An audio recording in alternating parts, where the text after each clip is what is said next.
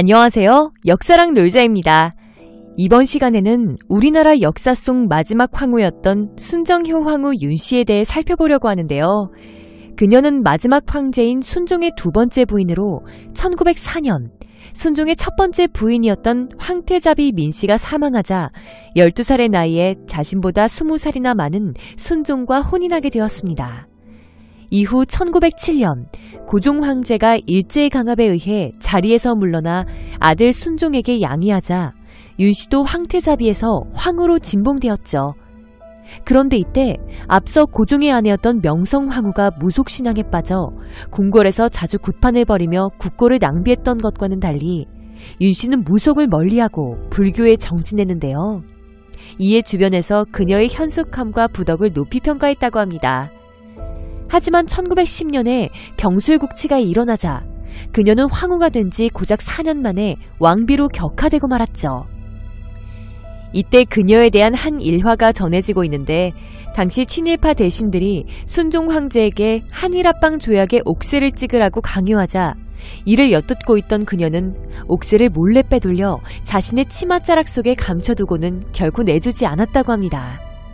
이로 인해 친일파 대신들은 차마 그녀의 치마를 건드릴 수 없었기에 잠시나마 시간을 벌 수 있었죠.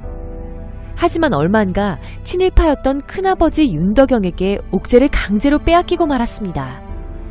이후 그녀는 남편인 순종과 함께 창덕궁 대조전에서 지내다가 1926년 남편이 사망하자 나라도 잃고 남편도 잃었으니 단청 입힌 집에 머무를 수 없다며 낙선제로 거처를 옮겼습니다.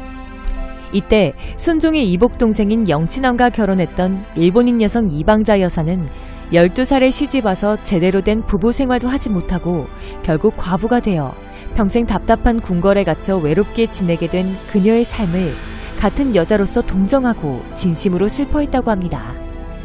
이후 그녀는 낙선제에서 머물며 학문에 전념하는 한편 거금을 마련하여 당시 독립운동가였던 오빠 윤홍섭에게 자금을 지원하였고 이 자금은 이후 상해 임시정부 설립에 보태졌습니다. 하지만 일제강점기가 끝이 나고 대한민국 정부가 수립된 이후인 1950년이 되자 그녀는 갑자기 목숨이 위험한 상황에 처하게 되는데요. 왜냐하면 북한의 기습 남침으로 발발한 6.25 전쟁 초기에 서울을 함락한 북한군이 갑자기 총을 앞세우고 그녀가 머물던 창덕군에 들이닥쳤기 때문이었죠. 그러나 이때 그녀를 모시던 상궁들이 북한군에게 애걸복걸한 덕분에 간신히 목숨을 건질 수 있었고 이후 그녀는 1951년에 미군의 도움을 받아 비행기를 타고 부산으로 피난을 떠났습니다. 그리고 거기서 거처를 이곳저곳 옮겨다니다가 휴전협정이 체결되어 서울로 환도하기 전까지 시민들과 같이 생활하기도 하였습니다. 이후 휴전 협정이 체결되자 그녀는 기존에 머물렀던 창덕궁의 낙선제로 돌아가려고 했는데요. 하지만 평소 그 왕실 사람들을 마음에 들어하지 않았던 이승만 대통령이 창덕궁은 국가 재산이라는 이유로 거부하면서 어쩔 수 없이 서울 성북구에 위치한 정릉의 인수지에서 지내게 되었습니다. 이후 그녀는 4.19 혁명으로 이승만 대통령이 하야한 뒤에야 낙선제로 돌아올 수 있었는데요.